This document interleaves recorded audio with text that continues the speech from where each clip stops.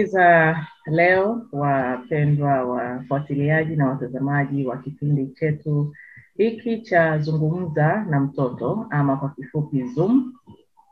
E, tunaomba radhi kwamba kwa mwezi huu wa tano hatukuwa na vipindi viwili kama kawaida yetu, kwa sababu mfululizo wa makala hizi e, hutolewa mara mbili kwa mwezi.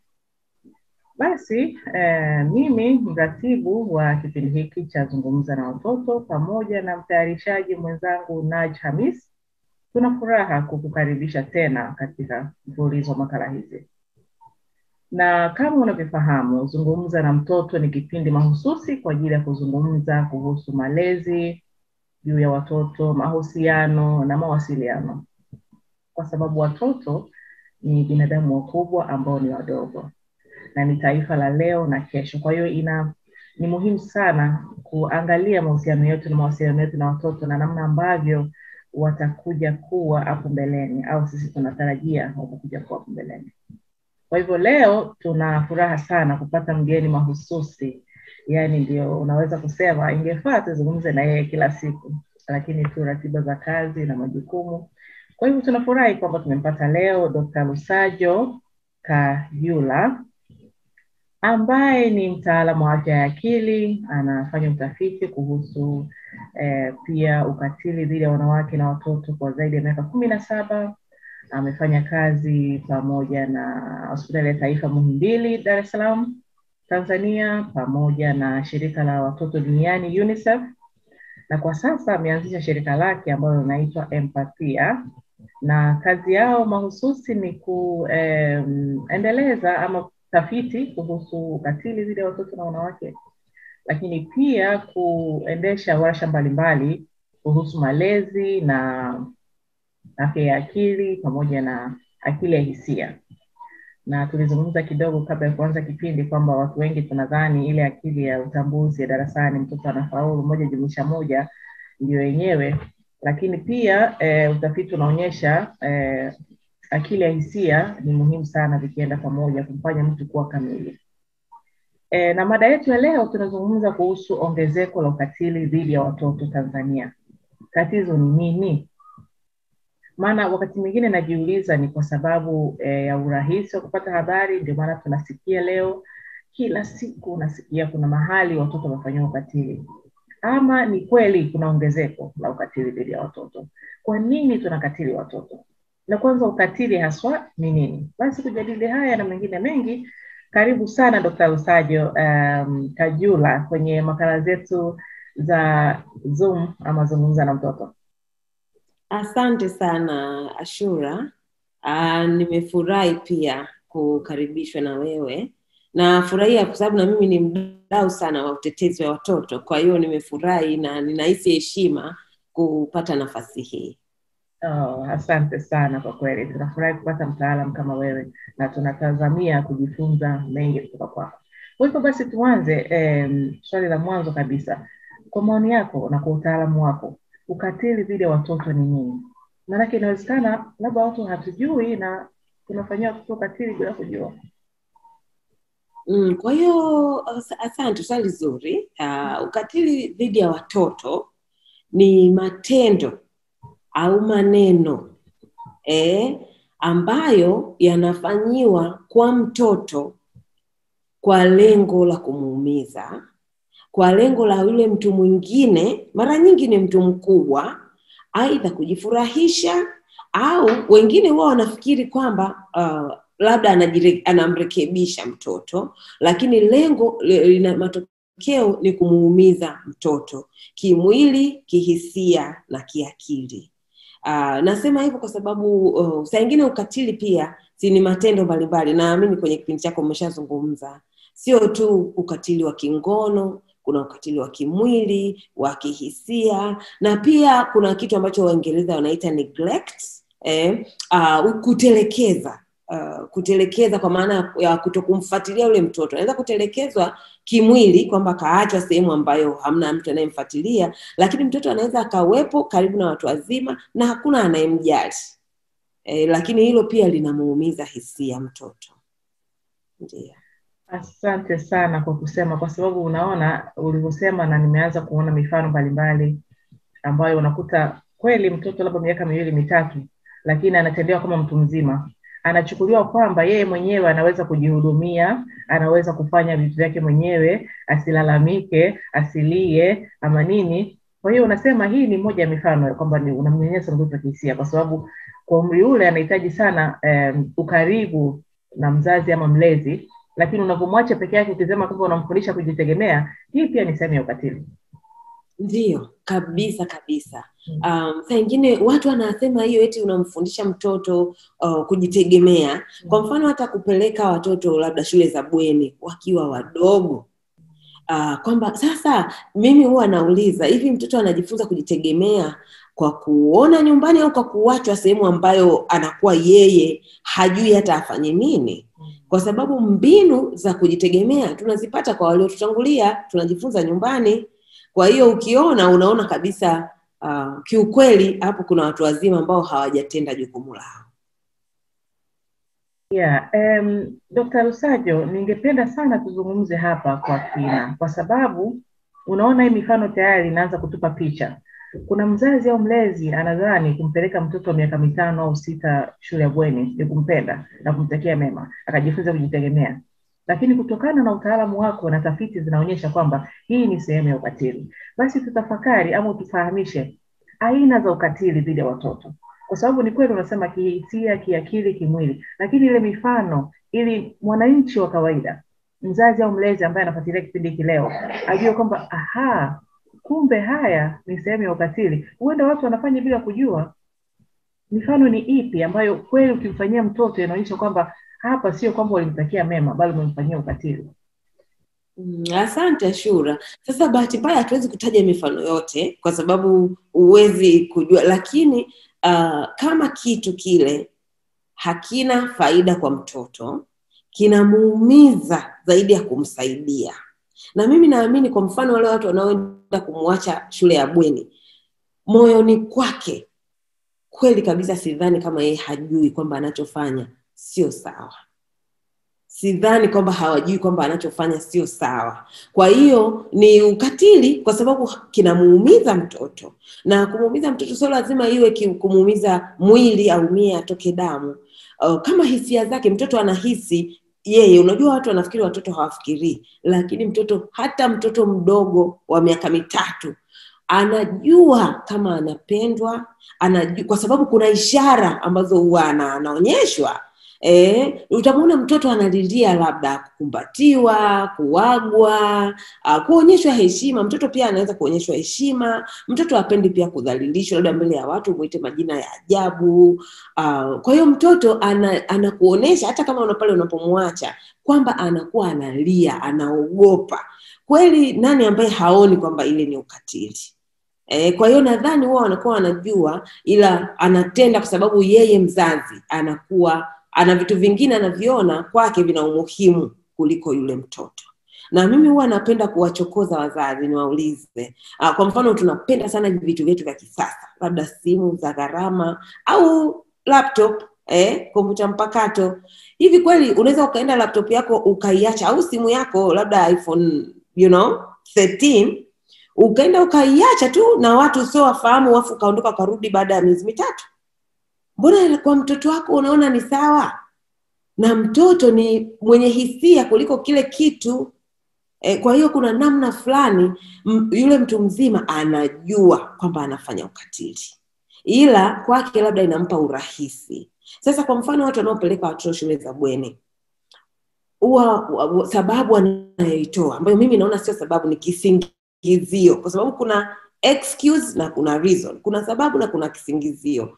Ni kisingizio kwamba oh, unajua nachelewa kurudi nyumbani, uh, unajua uh, sasa hivi dunia sijui imeharibika, kwa hiyo kule. Lakini sehemu, wajibu wa mzazi ni kulea, na hata ukirudi saa mbili mwangalie mtoto wako E, angalia homework yake kama ana homework, hata kama ni zile shule ambazo hazina homework kama tulizosoma sisi zamani. Unamwona mwanao amekula, amelala, unamwona kama anaumwa, haumwi. Kuna magonjwa yanakuja ghafla eh, labda uh, kama tete kuwanga, unarudi tu unakuta mtu ana vipele au ana homa. Sasa akiwa shule ya bweni wale shuleni ni sehemu ya kufundisha masomo sio malezi, sio kumfundisha maadili kama sisi wa Tanzania, labda makabila yetu mbalimbali. Uh, mimi Mnyakyusa, mume wangu mtu wa Tanga, unampeleka kule shuleni boarding, ana watu wa makabila labda nane tofauti, alafu mtoto akirudi nyumbani, baada ya muda mnaanza kumshanga, huyu sijui yukoje, huyu sijui ana tabia gani. Ndio kwa sababu amepata zile tabia zote za kule mlikokuwa mnamwacha halali kila siku e, shule ya bweni ambayo unamuona mwezi wa sita kwa mwezi mmoja na mwezi wa kumi na mbili kwa mwezi mmoja, yaani miezi kumi na mbili ya mwaka unamuona mwanao kwa miezi miwili. Sasa hapo mlezi ni nani? Ni wewe au wale walimu? E, kwa hiyo hivyo vyote unaona kabisa kuna element ya neglect ya mtu kumuacha yule mtoto yeah. Asante sana Dr. Lusajo kwa mfano wako na mimi ningependa kuongeza ni kwamba kwa mfano ulipozungumzia kuhusu kumwacha mtoto kwa kipindi fulani na usingeweza kuacha simu yako ya gharama au laptop au pochi kwa mfano kuagwa ulizungumzia pia na hii mimi niliwahi kufanya kwa sababu nilikuwa sijajua eh, mwanangu akiwa kama miezi sita hivi. Eh, tulikuwa tunacheza wote rafiki yangu alikuja akatusalimia. Sasa nikawa namsindikiza. Na sikumwaga mwanangu eh, nilimwacha tu na mamangu.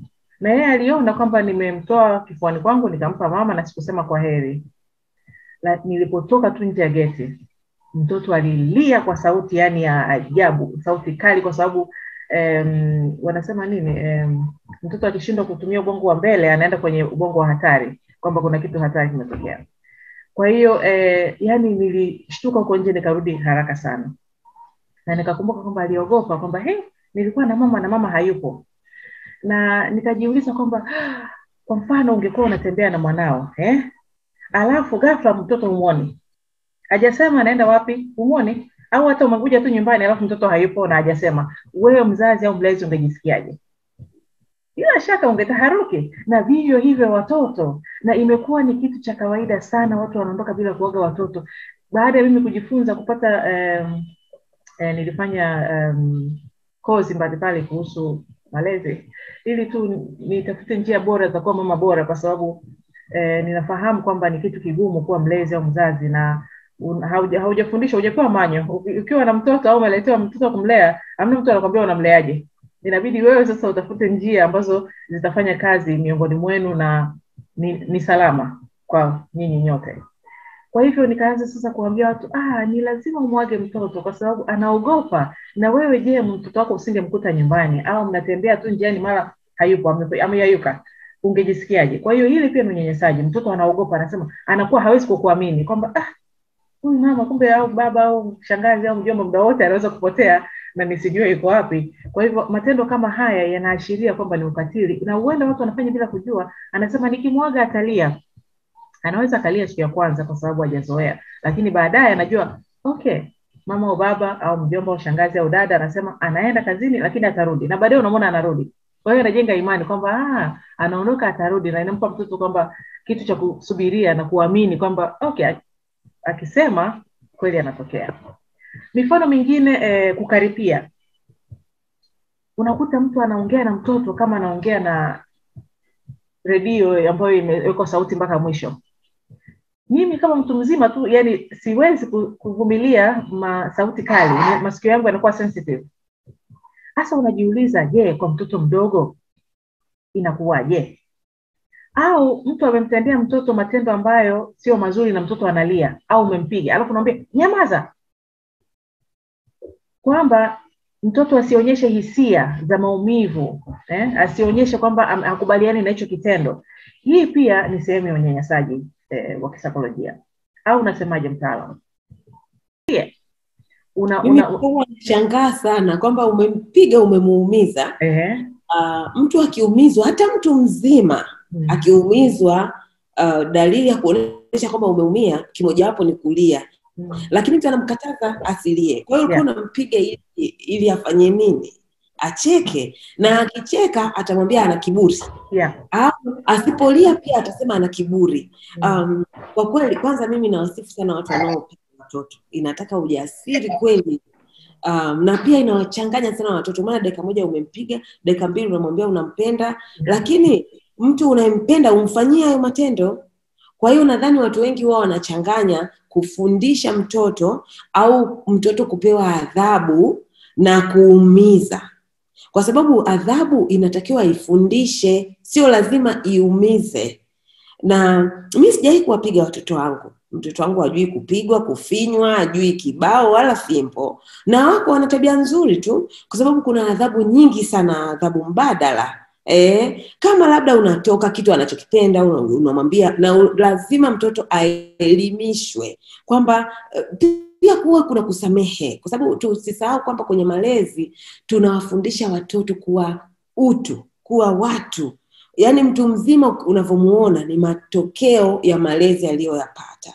Kwa hiyo kama siku nyingine mna discuss kosa alilolifanya bwana kitu fulani kwa nini umefanya? Kwanza mpe nafasi ajieleze kwa sababu inakusaidia ina wewe kujua mtoto wako anafikiria vipi.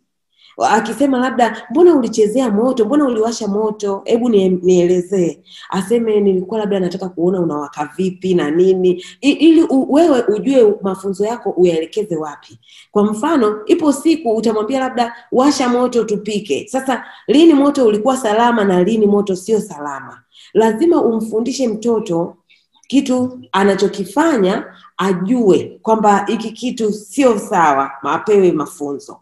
Alafu uh, ba, then aambiwe labda leo ili ni kosa lakini nimekusamehe. Ili ajue kwamba kumbe naweza kusamehewa na yeye awe mtu mwenye huruma na mwenye utu. Unajua kuna watu unashangaa mtu anaombwa msamaha mtu mzima na hasamei. Yeah. ni hakuonyeshwa utu. Kwa hiyo sio kila kosa lazima mtu apewe adhabu. Yeah. mwambie kwanza umegundua ulipokosea. Yeye aji, ajiseme mwenyewe alafu wewe umpe mafunzo yanayotakiwa kwamba umesahau na kitu hiki na kitu hiki. Uh, lakini kwa leo japo sijapenda lakini leo nitakusamehe. Then akirudia kitu kile kile umwambie sasa leo tena vipi? Mbona umewasha tena moto ndio aseme labda leo sijui aidha nilisahau. Sasa akirudia tena unamwambia sasa leo utakupa adhabu. E, na adhabu iwe ya kufundisha sio kuumiza. Lakini ya shura mimi na nafikiria sijatafiti sana kwa nini nimetafiti watu kupiga na nini lakini ile kwa nini ila kwa kuongea na watu. Um, na kitu ambacho hawakisemi lakini nimekiona. Kupiga ni rahisi sana ni kitendo unapiga alafu unaondoka unaendelea shughuli zako. Na ndio maana huwa hawataki tena yule aliye kwa sababu anaona tena ni kero ni kelele niache niendelee na shughuli zangu. Lakini na, sisi wazazi pia tutafakari kwa nini unapiga? Hebu wewe jitafakari kwamba hapa unafundisha? Kama unafundisha kwenye kupiga unatoa mafunzo gani? Kwa mfano labda watoto wawili wamepigana wakaja kwako alafu wewe ukawapiga kwa nini wamepigana? Sasa umewafundisha nini je umewafundisha kwamba kupiga ni vibaya? Mbona wewe umewapiga? Pale mafunzo unayotoa ni kwamba mwenye nguvu akimpiga asiye na nguvu ni sawa. Ndio maana mimi mkubwa naweza kuwapiga nyinyi watoto. Lakini kama wakipigana ukawapa adhabu labda wanakosa kitu wanachokipenda labda huwa wanatoka. Mimi kwa mfano nimekuzia watoto wangu da na mara nyingi wakiwa wadogo tulikuwa tunapenda kwenda beach karibia kila weekend. Kwa hiyo kama mtu hajafanya homework labda leo tutakusubiri weekend ijayo wewe utaachwa. Kwa sababu ashura kwani mtu ambaye hajafanya homework jamani huyu anaenda bichi kutafuta nini ambaye hajafanya homework akae nyumbani. Kwa hiyo na na watoto wawili nilikuwa nahakikisha nikitoka na yule mmoja nampa bonge la good time. Akirudi aje na mastori mengi. Kwa hiyo yule mwingine mara nyingi utakuta ijumaa wameshamaliza weekend. Wameshamaliza I mean homework zote na wenyewe wanasema nimemaliza homework nimefanya hivi labda nimefua nguo zangu. Na ukifanya hivyo sasa inabidi jumamosi lazima mtoke usipotoka ataonekana ah, sasa si bora ningeacha tu nisingefanya lakini kwa hiyo mara nyingi malezi yenye kufundisha zaidi badala ya kuumiza yanachukua muda kwa hiyo watu wengi hata marafiki zangu nikiwaambia hivyo wanasema ah hiyo kazi yani singeshampiga mmoja alafu tuendelee yeah. Eh, ndio ni kazi kwa sababu kulea ni kazi na ni wajibu mkubwa sana. Sijui kama tunachukulia kwamba malezi ni jukumu tumepewa kubwa sana, kitu cha thamani sana. Watu wakikosa mtoto wanasikitika. Sasa sijui huwa wanasikitika kwamba labda atakosa mtu wa kumlea uzeeni, au wanasikitika kwamba aoni kwamba ni heshima amepewa. Sasa mbona uthamini huyo mtu uliyepewa? Eh, kwa hiyo ni, ni jukumu muhimu sana, na hiyo hata kukaripiwa, kukaripiwa kunadhalilisha sana Ashura. Sana Eh, haswa mtoto utakuta anaitwa majina, yaani unamwita majina ambayo mwisho hata wewe labda unajitukana. Mm. Kama ukimwita mtoto mbwa au paka, sasa mama yake mbwa ni nani? mbwa Hiyo pale na wewe unajitukana, wewe ni mama mbwa na mwanao ndio mbwa. Mm. Eh, kwa hiyo sijui hata kama tunafikiria kwamba tunafundisha nini. yeah. Asante sana Dkt. Usajo kwa mafundisho yako, na mimi sio mtaalam, lakini najua kwamba watoto wanajifunza kupitia makosa. Kwa hiyo makosa ni muhimu sana, ni, ni sehemu ya mtoto kujifunza, na kama unavyosema ni kumsaidia kwamba ajue ana anafanya vipi makosa katika kujifunza kwake, na iwe ni njia ambayo ni salama kwake na sio ambayo ita, itamletea madhara. Kwa hivyo e, tuje sasa kwenye e, ukatili wa kingono ambao sasa hivi ndio imekuwa tatizo sugu. Nini tatizo? Kwa nini watu wanatendea ukatili? Kwanza, ukatili wa kingono ni nini dhidi ya mtoto? Asante sana. Kwa hiyo ukatili wa kingono ni matendo au maneno, maana sio mara zote ni matendo ambayo yanamwingiza mtoto kwenye hali ya kutenda matendo ya ngono na mtu na- kutenda matendo ya ngono, maanake hata watoto kwa watoto wanaweza kufanyiana. Ukatili unakuwa uh, pale yule mtu ni, ni mkubwa, ni mtu ambaye yeye anatakiwa kujua eh? Uh, lakini anamtendea mtoto. Kwa hiyo inaweza kuwa ni kumshika kwa namna ya kingono. E, kuna watu kwa mfano wanaanza kumchezea mtoto sehemu zake za siri. Uh, na tu, tu, sisa, wengine yani sio lazima siku ya kwanza afikie kitendo cha kumwingizia labda viungo e, inaweza kuwa kidole uh, inaweza kuwa kumgusa au kumwingizia viungo labda uume Eh, inaweza kuanza hata kwa kumshika na watu wengi ambaye yuko karibu na mtoto kwa muda mrefu. Nadra wengi wao huwa hawaanzi siku ya kwanza kwa kumuumiza yani kwa kumbaka moja kwa moja. Huwa anaanza waingereza wanaitwa na kwenye tafiti za ukatili wa kingono tunaita grooming. Yeah. Eh, leo nilikuwa naongea mahali afu watu wakasema mbona grooming ni neno zuri sana? Hiyo uh, ni neno zuri kwa sababu linakuwa halimuumizi mtoto. Yaani tena mtoto anaweza kuwa anafurahia. Mm. na pale yule mtu haanzi kumtishia anaanza kwanza kumwambia hii ni siri yetu. Hii ni siri yetu ni na wewe. Huu ni mchezo wetu. Anaanza kuwa anamchezea na mpaka mtoto usangine anafurahia. Yeah. eh, then anaanza kwa kumshika. Alafu labda ataanza kama ni mtoto wa kike au wa- kiume siku hizi wanawafanyia um, kinyume na maumbile. Then anaweza kuwa anaanza kumwingizia taratibu kwanza kidole sio kitu cha kumuumiza. Alafu siku atakamwambia sasa leo naingiza hiki. Yule mtoto anaweza hata labda asitoe damu. Yeah. kwa sababu alimwanza naye muda mrefu.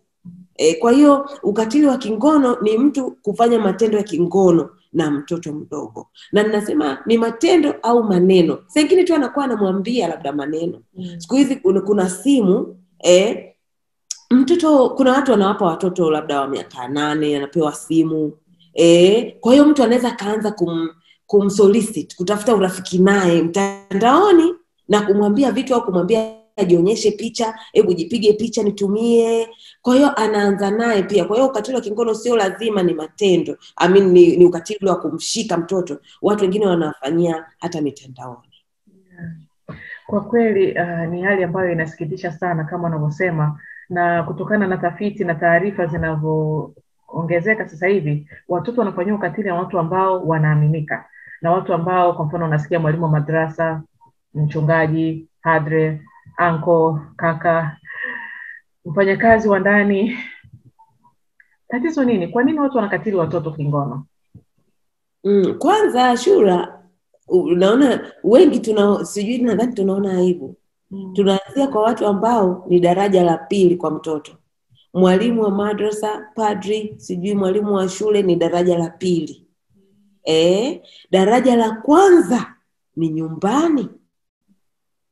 Na asilimia sabini eh, kama marekani ni zaidi ya sabini ya watu wanaofanyia watoto ukatili wa kingono ni nyumbani ni wazazi ni ndugu wa karibu yani labda mjomba ba mdogo sijui nani kaja. Huku sisi um, sisi wenzetu hawakai sana na ndugu lakini saa ndugu anakuja kutembea au mtoto ataenda kutembea.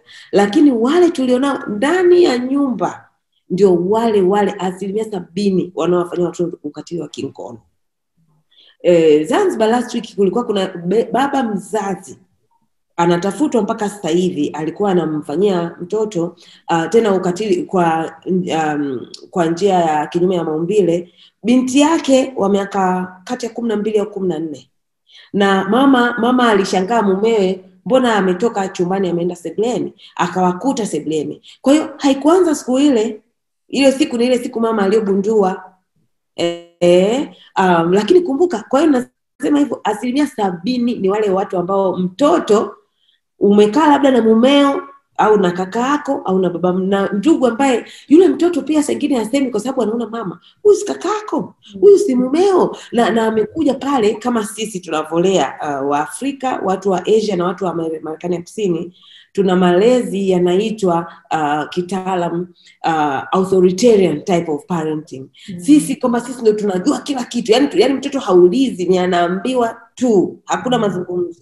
Kwa hiyo we msalimie sijui nani? Mbona hujamsalimia? Labda yule ameng'ang'ania anataka kumkumbatia au am, am, ampakate. Yeah. na saingine mtoto anakuonyesha ishara. Yeah. Kwa- sina amani Mm. lakini wewe unamlazimisha sasa kama unamlazimisha yule mtoto mwenyewe anaona si ndugu yako Mm. au si mumeo Mm. eh, kwa hiyo mimi nitafanya nini na wazazi wengine wanaweza kusema we kwani kusema hakusema kwa sababu jinsi tunavyolea hatumpi nafasi mtoto ya kuja kukuambia kitu Yeah. na asimwamini yule anayemtishia Yeah. kwa hiyo anakuwa anamwamini zaidi yule anayemtishia kuliko wewe ambaye unatakiwa uwe ni, ni bandari salama kwa mtoto Yeah. alafu ni asilimia ishirini ndio hilo daraja la pili Mm. eh, uh, mtoto anaenda mafundisho aidha ya kidini eh, eh, dini zote kuna wachungaji kuna mapadri kuna mashehe wanabaka watoto mm. eh, alafu ashura ni asilimia kumi tu Mm. ndio wapita njia na wengi wetu tunavyolea tunalea kwamba mpita njia ndio mtu mbaya. We kwani umemwamkia yule umjui kwani umemfata yule umjui kumbe asilimia tisini ni watu ambao wana access ya mtoto. Maanake hata zile asilimia ishirini unamlazimisha mtoto aende madrasa labda mtoto kafanyiwa kitu Mm. anashindwa kukwambia. Kwa hiyo hataki kwenda. Wewe ujiulizi unajua tu hataki kujifunza. Mm. labda kuna kitu anakikwepa. Lakini mtoto anaona sasa si umenileta huku in the end mtoto anaanza kichwani kwake anakulaumu wewe. Yeah. kwamba kwa mama yangu au baba yangu ndio amenileta huku Mm. eh, sasa kamba yameongezeka maana ulikuwa ume- umesema mbona tunasikia sana sasa hivi. Mm. inawezekana pia ni kwamba sasa hivi kumekuwa na uwazi zaidi. Eh, tunazungumza zaidi zamani na mpaka sasa hivi kwa mfano watu wa zanzibar kuna tafiti na kuna kazi nafanya zanzibar kuhusu ukatili wa kingono kwa watoto. Kwa hiyo kuna neno wanaliita muhali. Ni kiswahili kwa zanzibar wanakutumia sana. Muhali ni ukimya. Ukimya wa usiri. Sio ukimya tu kwamba ni, ni, ni ukimya wa usiri kwamba tunaficha siri.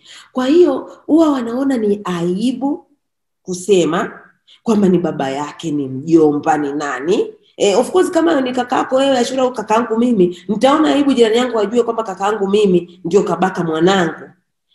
Kwa hiyo kuna muhali kwa sababu watu wanaona of course haya matendo yana adhabu kubwa sana. Kwa hiyo tena tunaanza kuwalinda wale watenda ma, wa maovu. Wale ni waovu kabisa. Tunaanza kuwalinda kwa sababu ni ndugu zetu na ni waume zetu au ni watu wetu wa karibu eh, lakini unamlinda yule uh, na kuhakikishia kama akiacha kumdhuru mwanao kwa sababu labda wewe utaongeza ulinzi lazima ataenda kudhuru mtoto mwingine. Yaani akiacha kumdhuru huyu unayemuona atadhuru usiowaona. E, kabisa. Kwa hiyo tunaogopa sana kuwaweka hatiani awa watu wetu wa karibu lakini kumbe ataenda kudhuru wengine. E, ila angekuwa ameiba au amefanya kitu kibaya au kakuchomea nyumba yako labda sijui kama ungemsamehe. Kwa hiyo tunarudi pale pale tulipoanzia mwanzo yani ni kama tunaona kama watoto kama wana thamani yao ni ndogo kidogo. Kuna vitu tunavipa uthamani mkubwa yani akikuibia gari lako labda kaka yako achule na kuhakikishia utaenda polisi lakini kambaka mwanao unaanza kusema ukoo watakuita watakusuta watakulaumu. Msamehe. Kwa hiyo muhali. Ndio maana watu zamani walikuwa hawasemi.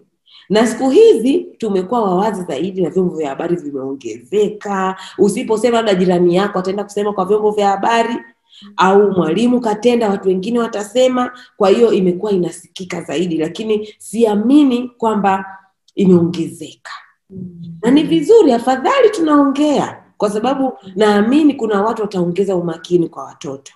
Na hawa perpetrators um, umeuliza pia kwa nini wanatenda. Uh, nafsi zetu zina madirisha manne na ilo dirisha moja linaitwa hidden au lililojificha lile dirisha lililojificha ni vitu ambavyo yeye mtendaji au muwazaji anavijua. Lakini ni kitu ambacho kitaona kitakuwa aibu au hatari akisema kwa hiyo hasemi lakini anaviwaza. Kwa hiyo unashangaa mpaka unashangaa usi tulikuwa naye hapa? Mi mbona sijani ningejua nisingemwacha na mtoto wangu. Wewe hujajua kwa sababu hiyo kwenye nafsi zetu imejificha. Lakini kuna watu wanaitwa pedophile kwa kiingereza wao wanavutiwa kingono na watoto wadogo. Maanake leo saingine watu wengine wanasema oh sijui ni uchawi ni mitishamba sijui ni nini. Hakuna ndio maana iko nchi zote. Kuna watu wanavutiwa kingono na watoto wadogo. Manake wewe utashangaa wengine "Oh, mbona watu wazima tupo oh, nani? Kwa sababu yeye anavutiwa na watoto wadogo. Na tuseme ni hali ya ugonjwa wa akili ama ni kitu cha kawaida?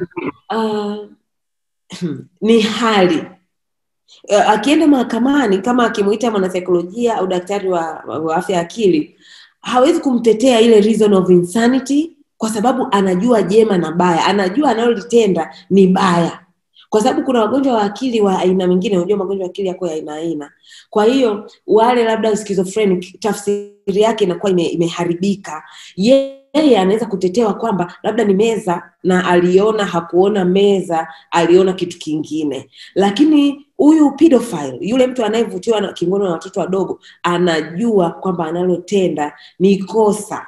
Kwa hiyo huyo anaweza kabisa kuhukumiwa kwa sababu anajua yani anajua kwamba hili jambo sio jema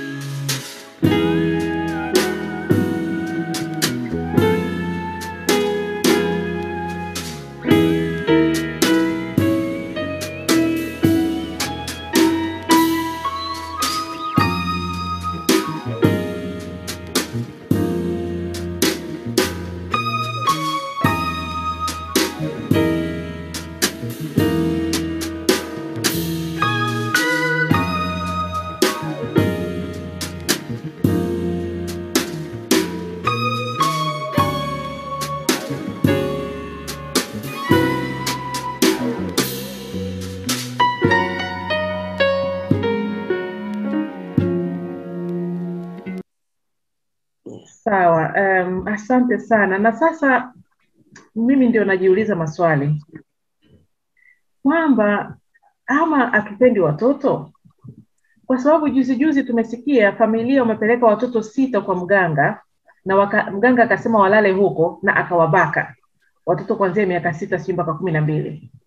Tunarudi pale kwamba ingekuwa wewe umeambiwa uache simu yako au uache pesa yako usingeacha. Kwa nini watoto? Kwa mfano pia ulipozungumza kuhusu kugusa niliwahi kwenda um, sehemu eh, na nje kuna binti anauza vitu na yuko sijui na mdogo wake kama miaka minne au tano wa kike. Na upande wa pili kuna duka wanaume wanauza hapo. Yule mwanaume amekuja amekaa anamshikashika yule mtoto kwa namna ambayo ana anataka ku, kuinua hisia za kingono na mimi nilikuwa ninanunua pale nilipoona nilishikwa na hasira sana. Nikasema wewe kwa nini unamshika huyu binti maziwa? Tena anamwita mchumba anamshika hivi nywele anamshika maziwa anam, anambonyeza kama mtu anatomasa tunda kama limeiva. Na nikasema kwa nini unamshika huyu mtoto kwa namna hii? Wewe ni mtu mzima na huyu ni mtoto.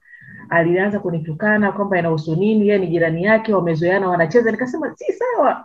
Nikamwambia yule binti yule binti akusema neno lolote ambaye ni dada lakini ninajua sasa kwamba alikuwa anaogopa maana wale watu wako pale na kama unavyosema mfumo dume mwanaume hata kama sio ndugu yako lakini ana mamlaka. Kwa hiyo akaogopa kwamba uhusiano wao usije ukaharibika mimi nitakapoondoka. Lakini nikamwambia hapana unahitaji kumlinda na kumtetea mdogo wako. Huyu anapomshika sivyo kabisa. Ni vibaya. Na unaweza hata kumpeleka polisi. Yule mwanaume alianza kunitukana matusi akaita wanaume wenzie. Nikapambana nao mpaka kichwa kilianza kuuma nikaondoka lakini nikasema nilitamani ningekutana hata na wazazi yule e, binti pamoja na yule mdogo wake. Na sasa unaona kwamba mtu anaona ni kawaida. Kwa nini unaruhusu? Hata kama ni mdogo wako hata kama ni mwanao mtu mwingine akamtomasa tomasa. Hivi tunachukuliaje kwamba watoto wanatuhitaji sana na wanaona sisi ni watu ambao wanatutegemea? Sasa kwa nini unadhani watu watuwapi umuhimu na uzito na upendo watoto ambao kweli wanastahili? Nini sababu? Ama ni kwa sababu sisi tulikosa upendo tunaona kwamba ni sawa tu atajijua mwenyewe ama ni nini, tatizo? Ashura, kwanza uli, ulifanya vizuri sana. Hiyo uh, kwenye kwenye harakati zi, za kuzuia uh, ukatili wa wanawake na watoto tunaita ni bystander intervention. Um, wewe mwangaliaji kuingilia kati, yaani unapoona kitu ambacho sio sawa, ingilia kati na usijali yule mtu atafanya nini. Na of course alikutukana kwa sababu si unajua Waingereza wanasema best uh, offense is defense. Kwa hiyo yeye alikuwa anajikinga kwa kushambulia wewe lakini haikumaanisha kwamba alichokuwa anafanya ni sawa. Na hata huyo sijui muuza duka huyo dada yake unaona kwa hiyo hapo na uhakika hata yule dada anaona kabisa hili sio sawa lakini ananyamaza kimya. Na yule mtoto anaona sio sawa kwa sababu mbona dada yangu yupo na hasemi kitu ambaye natakiwa anitetee na anakuja kutetewa na mtu mwingine. Kwa hiyo huyo baba anaanza hivyo na kama alifanya mbele ya yule dada yake siku akimkuta peke yake atajifanya kama kuendelezea lakini alikuwa actually anamfanyia grooming mbele yako. Atajifanya kuendelezea alafu pale walipoishia E, na sasa hapo labda ataongeza na kishawishi kama ni pesa kama ni nini. Kwa hiyo mimi sijui kama ni kwamba hatuwapendi au kwamba sisi hatukupendwa. E, tu, wengine tulipendwa tu ila wazazi tuna tuna hali ya kuamini watu. Yani tunaamini kirahisi sana watu wengine. Mi nilikuwa sijasikia hiyo ya kupeleka watu kwa mganga. Yani hebu fikiria mtu mtu ambaye kwanza yeye mwenyewe anamwamini mganga kwamba atamsaidia kitu. Alafu anakwambia waache. Na wewe unaondoka una, na of course ashura kuna wana, hata wanawake watu wazima wamebakwa na waganga. Kwa sababu anamdanganya tena anambaka saa ingine tunaweza tukasema samani kama nikisema. Lakini kwa namna ambayo unaweza ukaona ni ya kijinga sana. Yani yani kuna namna mtu anabakwa eti anaingiza anapaka dawa kwenye uume wake anamwambia hii ndio naingiza. Like kweli kabisa yaani namna ya kuingiza hiyo dawa ni kwa kupitia uume tu. Eh? um, lakini ule mtu kwa hiyo kuna kuna kuba, kuna imani ambayo tulionayo kwa watu wengine ambayo inakataa kweli na, na akili ya kawaida haikubali. Na saa ingine wazazi kuna namna uh, labda nitumie mfano wangu binafsi. Mi namshukuru mungu sijawahi kufanyiwa vitendo vya ukatili vya moja kwa moja Uh, lakini nikiwa mkubwa kabisa nimemaliza chuo nilisoma nilisoma india alafu mama yangu alikuwa anafanya masters uingereza. Kwa hiyo nikaenda kwa mama.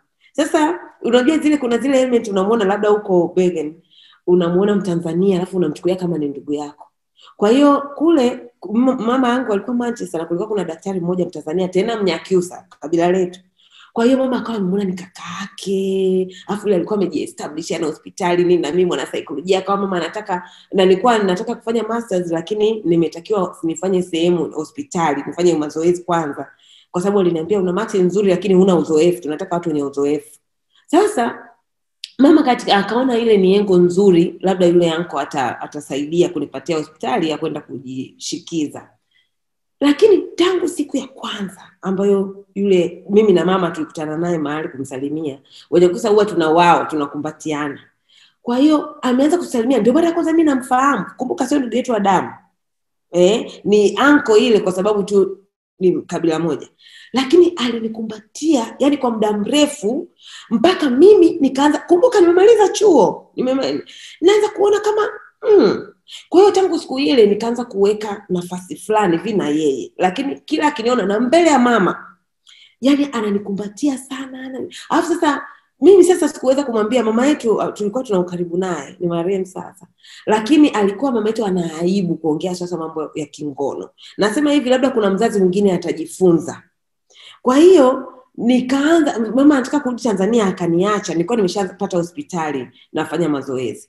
Kwa hiyo akataka kuni sasa kwamba nisikuache peke yako anapiga simu anaongea na yule yanko jamani tunakuachia mtoto. Kwa hiyo jamani mnisaidie. Mimi sasa nimesimama pembeni namkonyeza mamaangu kwamba mama nini? Na mama ananiambia hapana kwa sababu mimi niko najua kujieleza muda mrefu. Kwa hiyo anaona kama ninambishia sasa mimi sikumwambia mama yule yanko labda sijisikii salama na yeye. Lakini mamangu aliondoka ijumaa. Jumamosi yule anko alikuja.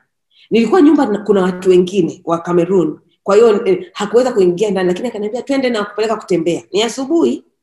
Nikasema anyway hawezi kunifanya kitu. Nikavaa tukatoka manchester tukaenda liverpool. Kwa hiyo ananionyesha eti blackpool. Unaona huku unaona bahari hii unaona haya mahoteli. Yani hata tukitaka tunaweza kulala. Yani hata nini. Sasa mimi nimeshamuona huyu mtu hayuko sawa Yeah. eh?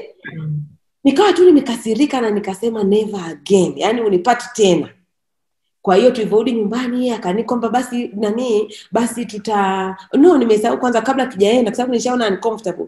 Nilisema tumpitie anti kuna anti alikuwa anafanya phd huyo tunamfahamu kutoka chuo kikuu tumekuwa naye ni rafiki yake mama.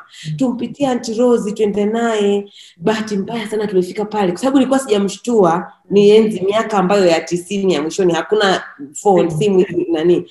Kwa hiyo nimefika anti rosi hakuwepo nyumbani. Kwa hiyo ikabidi tuondoke tu mimi na yule yanko nikawa tu sina raha.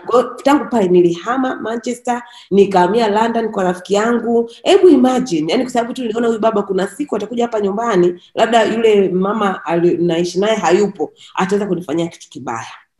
Kwa hiyo ndio kuna hiyo ya hali ya wazazi kuamini tu watu kwa sababu labda inakupa urahisi wewe. Mm. yaani bora ukose hicho kitu. Sijui hao waliwapeleka wao kwa mganga. Mm. labda wanaumwa au kitu gani. Bora ukose hicho kitu kuliko kumwamini mtoto na watu ambao labda mtoto amesha kuonyesha ishara kwamba sijisikii salama. Mm. eh, na hiyo ya kutokuwasikiliza watoto. Msikilize.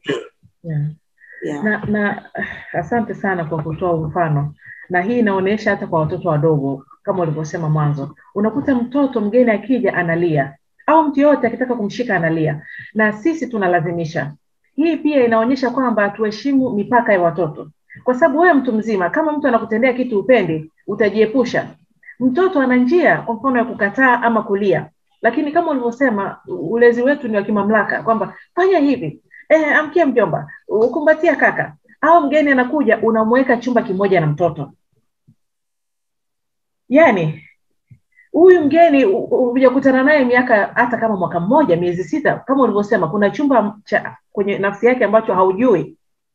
Amekuja unasema lala mtoto hapana mi sitaki. We tabia mbaya acha roho mbaya. Kwani utaki kulala na mgeni.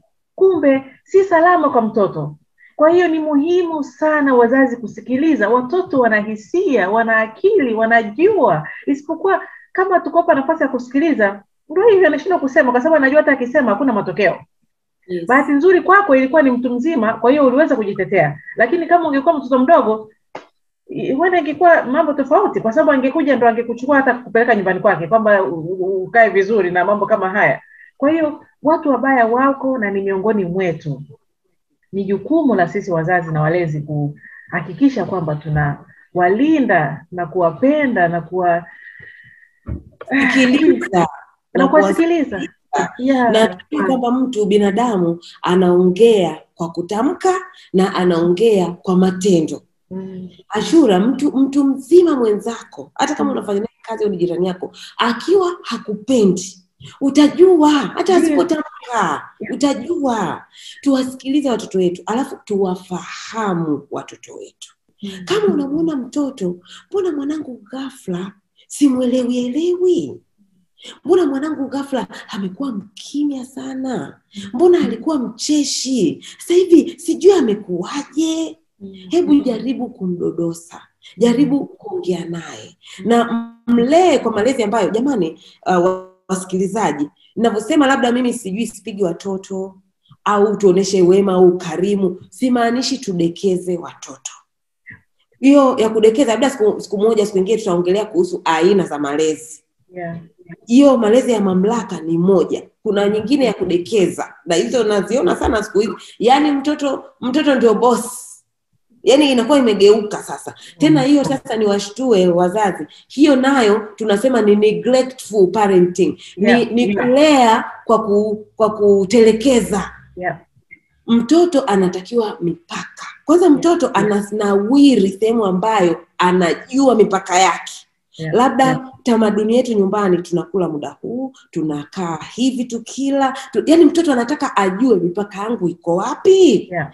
sio mtoto anafanya kitu unamwambia we kwani umefanya hivi kwa sababu mi sikujua kwamba hicho akiruhusiwi Yeah. ndio ndio maana nikazungumzia kuhusu kusamehe kama ujamwambia hujamwambia hiki akiruhusiwi unamwadhibu vipi Mm. Kwa hiyo unamwadhibu kama mlishazungumza Yeah, mbona hiki hiki- hapa hakiruhusiwi? Ae, kwa hiyo mtoto akikwambia kwa maneno au kwa matendo msikilize tafadhali. Msikilize. Kumbuka kama yule mtu amemtishia hataweza kuongea kwa maneno. Lakini anaweza akakwambia kwa ishara Kwa mfano kuna kabinti kakike hapa najua wasikilizaji wale kuna wale wanaosemaga hata wanawake hata wanawake wanaofanya ukatili. Ndio lakini ni kwa kiwango kidogo. Lakini huu mfano ni alikuwa ni mgonjwa wangu kabinti kamiaka alikuja kuniona akiwa na miaka kumi na tatu ana ugonjwa wa sonona kabisa. Alikuja mwenyewe alikuwa form 3 alitembea kabisa kaja mwenyewe. Wakati huo bado niko muhimbili. So akaanza kunisimulia kwamba akiwa na miaka sita alikuwa na share chumba na dada wa kazi. Yule dada wa kazi akaanza kufanya vitu vya kujifurahisha. Mbele ya yule mtoto. Kujifurahisha kingono. Nadhani watu wazima wanaelewa. Kwa hiyo akaanza anajiingizia vitu. Alafu baada ya muda akawa anamuonesha na yule mtoto na anamfundisha. Mtoto wa miaka sita. Kasichana. Na yule dada niseme bahati mbaya alipendwa nyumbani. Yani alikuwa ni yule dada ambaye anapendwa. So unajua? Yani anafanya kazi vizuri nini. Kwa hiyo hakuondoka kwa miaka mitatu. Alikuja kuondoka kale katoto kakiwa na miaka tisa. Akiwa ameshazoea yani wao na dada wanasimuliana na dada alimfundisha kuna namna kwamba unaweza ukaweka kitu alafu ukituma dukani tembea nacho tena utaona raha zaidi ukiwa unatembea. Kwa hiyo yule mtoto ananisimulia mimi kwamba kila siku kwa sababu yeye mtoto aligundua kwamba hiki kitu sio sawa. Mbona hatufanyi mbele ya mama? Mbona tunafanya tu tukawa tumejificha? Mbona unaniambia nisiseme? Lakini alikuwa haumii lakini anahisi kwamba sio sawa. Ila siku zote anasema alikuwa anahisi mama yake atatambua. Mbona mama atambui yaani mpaka alikuja kwangu ana kwamba kwa nini mama yangu akutambua miaka mitatu? Kwa hiyo uh, baadaye alikuja kupata sonona kwa sababu na yeye akaanza kuwafundisha watoto wengine. Na sasa akaanza kujiona alivyo kwamba yeye ni mtu mbaya yeye ni nini ile kaanza kujilaumu. Ndio akaja kutafuta msaada. Lakini alikuwa anafanyiwa chini ya paa la mama yake e, na alikuwa ni, ni mama uh, mlezi pekee hakukuwa na baba hapo nyumbani. Kwa hiyo ndio maana anazungumzia kwamba kuwajua pia watoto wetu. Kama mtoto anakuonyesha ishara fulani kwamba hayuko sawa tafadhali mdodose mm, kwamba kuna nini umekuwaje labda hata ondoka naye kwenye hayo mazingira mwende mkazungumze sehemu ambayo ni mbali kidogo ili awe wazi kufunguka kwako E, na umlinde akikwambia umlinde uh, kwa sababu wale kama ashura mfano waliotoa kwamba alitaka kumtetea yule mtoto na yule baba akaanza kumtukana. Ujue hata yule mtoto atakapomtaja mtu yule mtu lazima atamtukana atasema mtoto muongo au nini. Kwa hiyo yule mtoto kama atajiona kwamba yeye anaambiwa ni muongo hata kwambia na hata kama anahisi wewe hutamsikiliza utamsikiliza yule mtendaji yule muovu then hata kwambia kwa hiyo tuwape pia watoto uhakikisho kwamba ukisema utakuwa salama asante Yani kwa kweli asante sana Dr. Lusajo kwa sababu ni matumaini yangu na mtayarishaji mwenzangu na Chamis kwamba kipindi hiki cha zungumza na mtoto kitasaidia ku um, hamasisha ama kutoa mwanga kwa wazazi na walezi kwamba tuna jukumu kubwa na muhimu la kuwalea watoto wetu, kuwapenda, kuwasikiliza na kuwasiliana nao, kwa sababu wengi tunadhani kwamba kama wanavyosema, mimi najua, nakwambia tu wewe fanya, lakini pia mtoto kuna nyakati ambazo anakuwa anajua, lakini kutokana na mazingira anashindwa kusema, anasema kwa njia mbalimbali ambazo hatusikilizi. Eh, mtoto anakataa kwenda shule, usiseme yeye ni mjinga au apendi kusoma, fuatilie kwa nini uki, ukiwa mpole na mnyenyekevu utajua tu na utajua kwamba kumbe mtoto alikuwa na, ana maana alikuwa na kitu uh, alikuwa anajilinda. Kwa nini hataki kwenda shule? Kwa nini hataki kwenda madrasa? Kwa nini hataki kwenda mafundisho? Kwa nini amtaki huyu jirani akimwona naenda pembeni? Na uliposema kwa mfano ukiona mtoto anaanza kuwa mkimya hii ni dalili ya kwamba kuna unyanyasaji wa aina fulani anapitia. Kwa hiyo sasa anashindwa jinsi ya kusema kwa hiyo anadukuduku. Ndo unakuta mtoto anakaa mtulivu mbona mkimya sana kwa sababu anaona hata nikisema itasaidia. Haumwendei kwa namna ambayo anaku, anaweza kukuamini kwamba akisema atakuwa salama. Kwa hiyo ni muhimu sana jamani tuwajua watoto wetu na tuwapende na tuwasikilize kwa sababu wao pia wanajua. Sasa ili tatizo kama tunavyosema limeongezeka nini kifanyike? Kwa sababu kama tunaharibu watoto wetu leo tunategemea tutakuwa na kizazi cha aina gani siku za usoni Asante Ashura. Tena tafiti zinaonyesha mara nyingi watu waliofanyiwa ukatili kama ni wa kiume, na yeye atakuja kufanyia watu wengine, na kama ni wa kike, aidha anaweza kuchukia wanaume, hata wana, wanaume pia anaweza kuchukia wanaume uh, kwa hiyo akapata shida labda kuwa na mahusiano. Kuna wengine anakuwa na mahusiano na watu wengi sana eh, uh, kwa wakati mmoja na namna sasa kwamba tufanye nini? Uh, tu, tufanye vile vile kama haya matendo yanavyofanyika. Kwanza tuanze nyumbani yani iende kwa ngazi. Tuanze nyumbani. Tumeshazungumza nadhani tufanye nini ashura kuhusu malezi kuhusu kuwa karibu na watoto kuhusu kuwaruhusu watoto kuzungumza na sisi. Kuzungumza sio sisi ku, kuambia. Manake saa ingine inakuwa ni namna moja tu mzazi ndo anaongea. Mazungumzo ni ya pande mbili uh, kuzungumza na watoto na kuwalinda watoto. Tuwahakikishie usalama. Ngazi ya pili ni ngazi ya kwenye jumuiya zetu. Pale tunapoishi. Wewe kuwa jirani wa mtoto mlinzi wa mtoto wa mwenzako. Ukiwa wa Afrika tunasema kwamba mtoto analelewa na kijiji jamani, hata tukiwa mjini. Lea, angalia, hata kama wewe we, wale hawasemi, na kuna namna unaweza ukaripoti bila wale kukutambua, au ukamshtua mzazi kama hivyo ulivyosema, unatamani ukiwajua wazazi wa wale watoto wa yule binti uliomuona dukani. Kwa hiyo kama alikuwa ni jirani yako, ungetafuta muda ukamtafuta mzazi mmoja ukamwambia, tafadhali, hebu eh, angalia mienendo fulani sijapenda. E, kwa hiyo tuwe walinzi wa watu na kwenye mashuleni pia jaribu kuifahamu shule anayosoma mtoto wako e, jaribu kuifahamu jaribu kui, kuifahamu kwa maana ya kwamba kama kuna mazingira huyapendi mtoe mtoto. Usi, usione aibu au usione ugumu kumhamisha mtoto. Jamani mtoto akishaharibiwa huwezi ukarudisha iwe kwamba hajaharibiwa E, then tunaenda kwenye ngazi sasa za kitaifa, ngazi ya kitaifa kuhusu sera za mtoto. Afadhali sasa hivi kwa mfano hii wizara tuna, yani mimi namshukuru sana Mheshimiwa Rais kuleta wizara ambayo inashughulikia yani ni gender, ni jinsia na watoto yani imekuwa tunamwona pia waziri Gwajima anajitahidi sana jamani kupiga sauti nani kelele, lakini iendane pia na na policies na, na miongozo ambayo ina, inaleta inaongoza sera alafu pia kwenye taasisi za kiimani kutokuwatunza wale watu ambao wamefanya ukatili, watu waondolewe, yani hizo huo muhali wanavyosema uh, wenzetu wa Kiswahili cha Zanzibar, muhali uondolewe kila mahali. Hamna haja ya siri za kuwalinda wahalifu wa watoto, kwa sababu akiacha kumfanyia huyu mtoto ambaye kesi yake imejulikana, kuna watoto wengine kesi zao hazijajulikana na huyu mhalifu atatenda tena. Kwa hiyo kwa ngazi mbalimbali inabidi wote kwa pamoja tuwalinde watoto na tuwapende jamani watoto wetu. Asante. Asante sana Dr. Lusajo.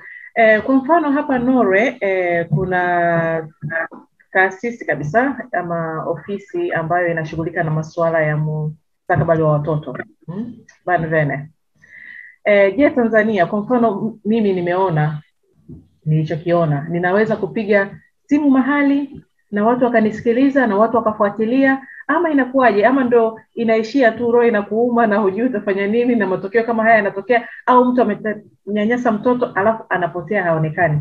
Yani hii inamaanisha nini kwa haki na mustakabali wa mtoto, kwamba mtu ana, anaweza kukimbia bila kutumikia adhabu ya makosa yake? Kwa Tanzania hali ikoje? Asante uh, sana shura Kwanza kwa kwa Tanzania kuna namna mbili. Sasa hivi kuna namba ambayo jana nimesikia mheshimiwa waziri anahitaja, sijaishika. Kwa hiyo jamani, tusaidiane wote kuitafuta. Lakini sehemu ya kwanza ambayo ni waangalizi sana wa jamii zetu ni ustawi wa jamii, na ustawi wa jamii inajulikana sana. Kwa hiyo hata kama mtu labda ni jirani yako au ni mtu wako ambaye unaogopa labda kwenda kumripoti, maana saa ingine wale nao, kuna mtu mwingine ana mamlaka, aidha nguvu ya kimwili au kwa hali au kwa mali, nenda ustawi wa jamii, nenda na ustawi wa jamii wana bidii sana. Mimi nishafanya tafiti mashuleni na tukakuta vitu kama hivyo. Tulienda ustawi wa jamii bila sisi kwenda nyumbani, na na kuhakikishia Ashura, mtoto yule alikuwa anakaa kwa ndugu, alihamishwa akarudishwa kwa wazazi wake. Yani ustawi wa jamii, kwa kesi tulioripoti tu sisi, walienda shuleni wakamtafuta yule mtoto, wakamfuatilia na wakamuhamisha. Kwa hiyo ustawi wa jamii ndio sehemu ya kwanza kwa kirahisi ki kabisa. Kama mtu hujapiga simu labda hiyo namba iliyotajwa, nenda ustawi wa jamii, nenda karipoti. E, bahati nzuri wewe unaishi Nore na nilikwambia kwamba nilipata watoto Nore. katika jamii ambazo zinalea vizuri sana watoto ni Wanoshk.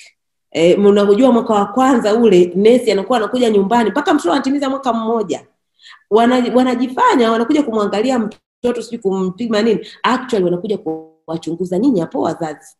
Wanawachunguza wana, watakuuliza nalala wapi, sijui anacheza wapi, sijui wanawachunguza mazingira ya mtoto yakoje. E, kwa hiyo ni, ni nani nzuri sana. Sisi, sijui kama watu wetu wa wa jamii kama ni wengi kiasi hicho, kwamba kila mtoto anayezaliwa anakuwa na wale ni nesi. Nesi, mtoto wako anakuwa na nesi wake, ana jina lake, anamfuatilia mwanao mpaka ana miaka mitatu mimi mwanangu uliondoka alikuwa huyo aliozaliwa alikuwa na miaka miwili, lakini yani sijaona sehemu wanaojali watoto kama Norway. Wanajali sana watoto, kwa hiyo tuna la kujifunza kwa kweli. Yeah, ni kweli, ni kazi kubwa nadhani ambayo serikali inahitaji kufanya uwekezaji wa hali ya juu, kuwa na eh, wakunga wa kutosha, wauguzi wa kutosha, na kwa nchi zetu ni changamoto, lakini angalau kama wanavyosema ustawi wa jamii kama wana wana mwamko na kufuatilia hizi kesi, basi ni wajibu wetu sisi kama jamii, kama wananchi, kama jirani, kama ndugu, tuna wajibu wa kulea watoto.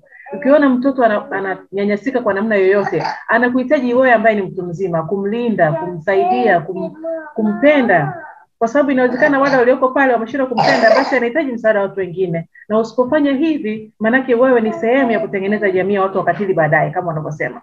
Kama mtu alifanyiwa ukatili akiwa mdogo, anajisikia ana, anayekuja kulipiza, kwa nini nilitendewa na mimi lazima nije e, kutendea wengine. Kwa hivyo e, katika tafiti zenu kupitia e, shirika lako la Empathia e, unaonaje, inasaidia mafunzo na warsha mnazotoa na mnatoaje? Watu wanawezaje kupata fursa ya kupata mafunzo yenu?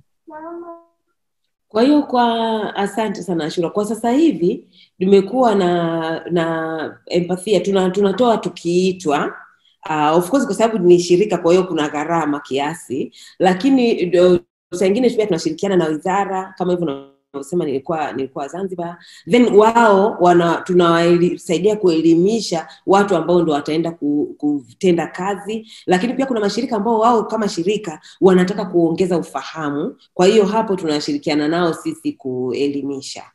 Kwa hiyo kwa namna hiyo um, tunachangia na sisi kwenye kupunguza ukatili uh, dhidi ya watoto Asante sana uh, Dr. Lusajo eh, kwa kushiriki nasi kipindi chetu cha leo zungumza na mtoto, na tulikuwa tukijadili mada ya ongezeko la ukatili dhidi ya watoto, tatizo ni nini?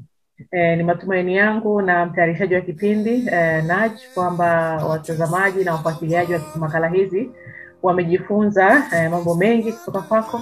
Tunashukuru sana kwa utaalamu wako, kwa kazi yako muhimu katika kuhakikisha kwamba watoto wetu Tanzania wanakuwa salama, wanakuwa kwenye upendo na kuwa sehemu ya jamii ambayo uh, wana mchango na sio kama vitu ambavyo vinapelekeshwa tu.